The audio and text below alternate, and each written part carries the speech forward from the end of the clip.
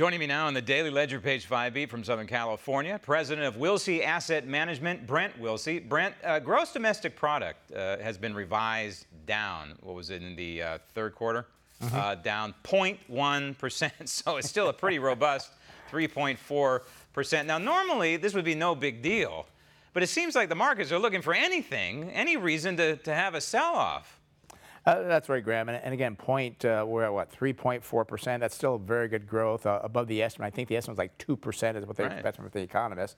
So we're doing very well. And they say, oh, it's from an inventory build. I think it was like uh, 90 billion was the, the inventory build.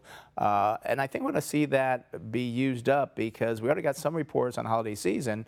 Um, holiday sales on online sales were a record 100 and I think it was 11 billion, up 18% over over last year. So I think that's going to do well. So we're going to use a lot of that inventory, and I think we'll still have an inventory replacement in the first quarter. So I think GDP will still do pretty well. All right, I don't want to get too far in the weeds because this is not an investment show, uh, and I don't want it to be. But how much of this sell-off going on right now is just driven by the typical fear and greed on Wall Street, and how much of it is is program selling that happens at the end of the year?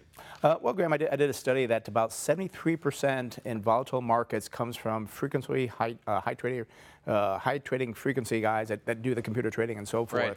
And uh, that's where it's coming from. And there are people, you know, cashing the mutual funds because they're they're fearful and so forth. There's no reason to be fearful. I mean, I saw a report that December, this is the worst December since 1931. Remember 1931? We had the Depression, right. you know, the World War. I mean, all this was going on. Why in the world this is happening now? It's just a crazy thing to to happen. And also, too, Graham, it's about 41, 42 billion dollars uh, is coming out we got to remember our markets, the equity markets, are over 30 trillion dollars. So I think people getting panicked for no reason, you're not going to do very well by panicking in this market. They're also panicking over interest rates, and we have the president of the Federal Reserve of New York coming out and saying, "Hey, you know what? Uh, you know the Federal Reserve does not live in an isolated bubble here. That they're actually going to consider certain machinations of the markets, yeah. certain machinations of the economy. They're going to reassess things when they look at future hikes. Is is the Fed, in your mind, killing?"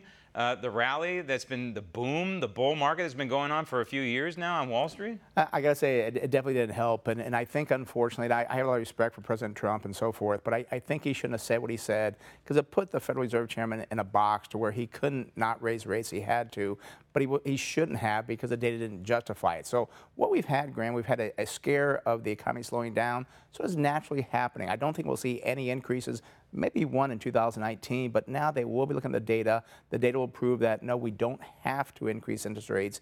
And I do get the idea of, oh my gosh, we've got to be careful on inflation.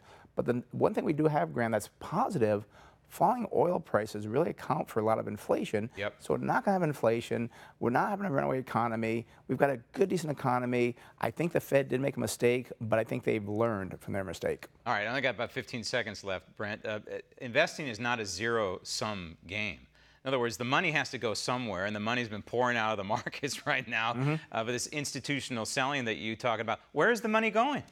Uh, Graham, it's probably just going to the money markets. And uh, the, the sad part is, we talked about this months ago, is that a lot of these high flyers account for a lot of the index.